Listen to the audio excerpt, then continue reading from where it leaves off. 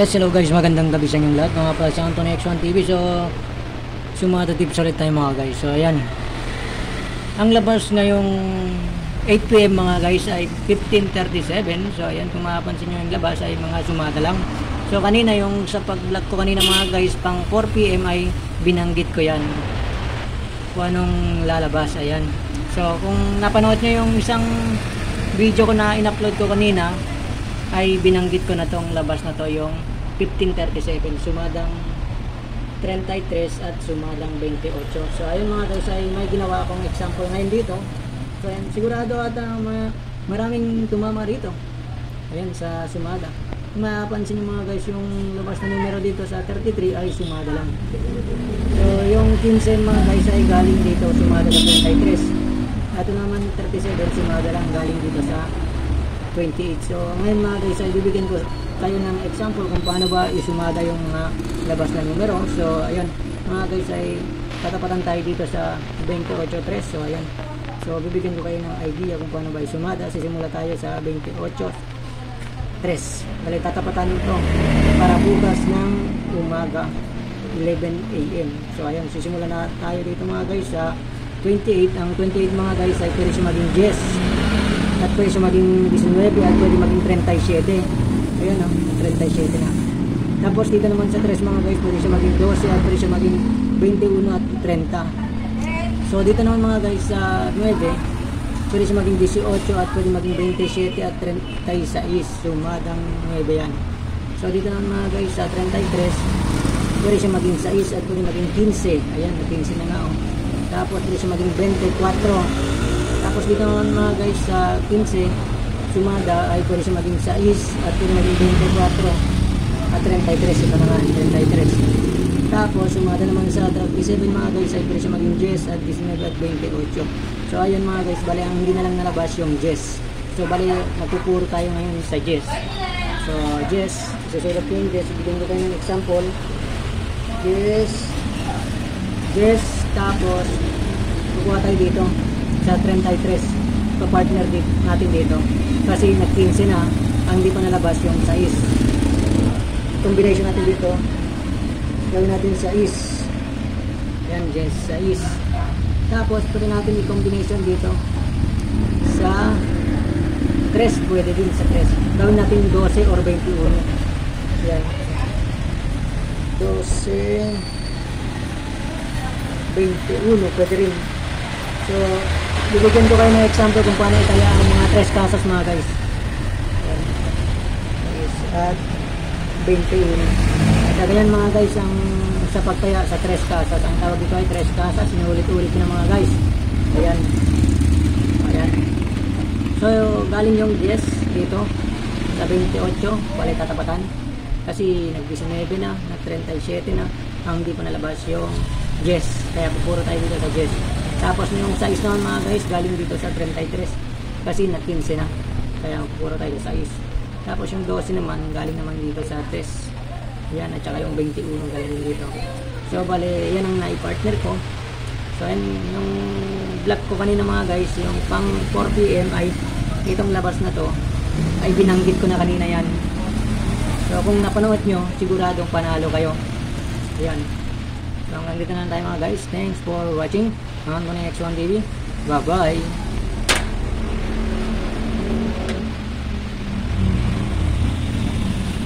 Yes, hello guys, magandang tanghali sa inyong lahat. Nga pala si Anthony X1 TV. So, ayan mga guys, bali papakita ko na sa inyo ang labas kaninang alas 11. Ayan, kung makikita niyo mga guys, ang labas ay 28.3. Ayan. So, bali tatapatan tayo dito sa 18.19. So ating susumadahin yan pang 4pm. So ayan kung mapansin nyo mga guys, yung labas ay mga sumada lang. So ayan, aking lalapit yung camera at saka kukuha ako ng ballpen na saglit. So medyo magulo. So ayan. So aking susumada sa 18. So ayan mga guys, ang 18 pwede yan maging 9 at pwede maging 27 at saka pwede maging 36 ano So, tapos naman, sumadang 19 naman, pwede siya maging 10 at pwede maging 28 at 30. Yes, hello guys, magandang hapon sa inyong lahat. Mga pala si Anthony X1 TV. So, ngayon guys ay kung mapapansin nyo mga guys yung labas, ngayong 4pm ay sumada lang galing sa 18 so ayun mga guys kung makikita nyo itong 18 kasi pwede siya maging 9 at pwede siyang maging 27 at 36 so ayan na nga. Kaya yung labas dito ha tinapatan ay sumada lang so ipapakita ko sa inyo mga guys yung tinaya ko kanina ayan example ayan. Ayan bale nakakuha ko yung isang numero. So ayan. Tapos dito ay sumada lang din. So ating isusumada para sa tatapatan dito mga guys sa 8pm so ayan. So bibigyan ko kayo ng idea kung wala ka pang idea sa sumada sa STL so ayan mga guys ating sisimulan na so may nagawa pala ako kaninang video so hindi ko lang na-upload. So ididikit ko lang dito mamaya kung paano ko ba naisumada dito. Ayan. Naisumada ko to kanina. So ayun. Bali nakuha natin yung 9 so ayan. Bali sisimulan tayo dito sa tatapatan sa 3 yung 3 mga guys ay pwede siya maging 12 at 21 at 30 so yung 19 naman mga guys pwede siya maging 10 at pwede maging 28 at pwede maging 37 kung mapapansin nyo dito lumabas na yung 28 so ang di na lang nalabas yung 10 so pwede natin i-combination dito. Itong 33 mga guys pwede siya maging 6 at pwede maging 15 at pwede maging 24 so ayan. So ating sisimulan na ating sisimulan yung pagsusumada ano sige ipapakita ko sa inyo. So ating example. So itong 33 mga guys pwede siya maging 6 6 tapos kuha tayo, tayo kukuha tayo dito. Combination natin dito sa 19 pwede natin lagay na 10 ayan. Kasi nag 28 na. At nag 19 na hindi pa nalabas yung 10 so ayan itong size mga guys galing dito yan. Sumadang 15 yan. Tapos yung 3 naman galing sa kung sumadahin natin yung 3 pwede natin gawing 12 yan kung gusto mo lang. So ayan pwede maging 12 yan. Ayan pwede maging 21 yung 3 ayan. So sisimulan natin dito. Ay pwede natin combination dito gawin natin 27 3 casas tayo mga guys. Ayan. 27 ayan. 3 casas. So ayan. Yung 27 mga guys ay galing dito sa 9 at 18 yung size naman mga guys ay galing dito sa 16 ay sa galing sa 33 sorry sorry. Nawala yung Jess naman galing sa Yes, hello guys, magandang tanghali sa inyong lahat. Nga pala si Anthony X1 TV. So, ayan mga guys, bali papakita ko na sa inyo ang labas kaninang alas 11. Ayan, kung makikita niyo mga guys, ang labas ay 28.3. Ayan. So, bali tatapatan tayo dito sa 18.19. So, ating susumadahin yan pang 4 p.m. So, ayan kung mapansin niyo mga guys, yung labas ay mga sumada lang. So, ayan, aking ilalapit yung camera. At saka, kukuha ako ng ballpen na saglit. So, medyo magulo. So, ayan. So, aking susumada sa 18. So, ayan mga guys, ang 18 pwede yan maging 9 at pwede maging 27 at tsaka pwede maging 36, ano? So, tapos naman, sumadang 19 naman, pwede siya maging 10 at pwede maging 28 at 37.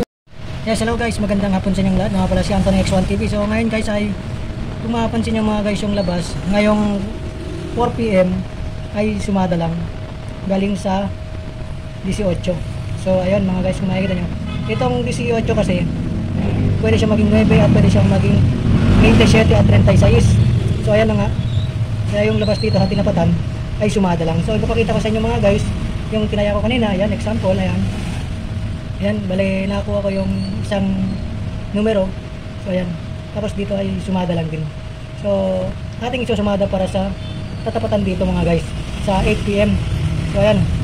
So bibigyan ko kayo ng idea kung wala ka pang idea sa sumada sa STL so ayan mga guys ating sisimulan na so may nagawa pala ako kaninang video so hindi ko lang na-upload so ididikit ko lang dito mamaya kung paano ko ba naisumada dito ayan naisumada ko to kanina so ayun bali nakuha natin yung 9 so ayan. Yes, hello guys, magandang gabi sa inyong lahat. Mga pala si Anthony X1 TV. So, sumata tips ulit tayo mga guys. So, ayan. Ang labas ngayong 8pm mga guys ay 15.37. So, ayan, kung mapapansin nyo yung labas ay mga sumada lang. So, kanina yung sa pag-vlog ko kanina mga guys, pang 4pm ay binanggit ko yan. Kung anong lalabas, ayan. So, kung napanood nyo yung isang video ko na in-upload ko kanina, ay binanggit ko na tong labas na to yung 1537 sumadang 33 at sumadang 28 so ayun mga guys ay may ginawa akong example ngayon dito so ayan, sigurado ata ma maraming tumama rito ayan sa sumada kung mapapansin nyo mga guys yung labas na numero dito sa 33 ay sumada lang so yung 15 mga guys ay galing dito sumada sa 33 ito naman 37 sumada lang galing dito sa 28. So, ngayon mga guys, ay bibigyan ko kayo ng example kung paano ba isumada yung mga labas na numero. So, ayun, mga guys, ay tatapatan tayo dito sa 28.3. So, ayan. So, bibigyan ko kayo ng idea kung paano ba isumada. Sisimula tayo sa 28.3. Balik tatapatan nito para bukas ng umaga 11 a.m.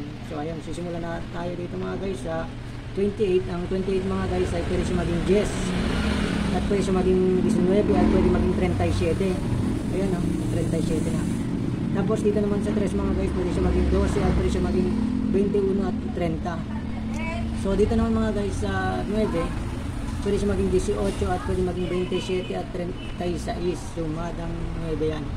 So dito naman mga guys sa 33 pwede siya maging 6 at pwede maging 15 ayan 15 na nga o tapos pwede siya maging 24 tapos dito naman mga guys sa 15, sumada ay pwede siya maging 6 at pwede maging 24 at 33. Ito naman, 33. Tapos sumada naman sa 37 mga guys ay siya maging 10 at 19 at 28. So ayun mga guys, bali ang hindi na lang nalabas yung 10. So bali magpupuro tayo ngayon sa 10. So 10, susulat ko yung 10. Bigyan ko tayo ng example. 10, 10, tapos kukuha tayo dito sa 33 pa-partner natin dito kasi nag-15 na ang hindi pa nalabas yung size combination natin dito gawin natin sa is. Yan Jess sa is.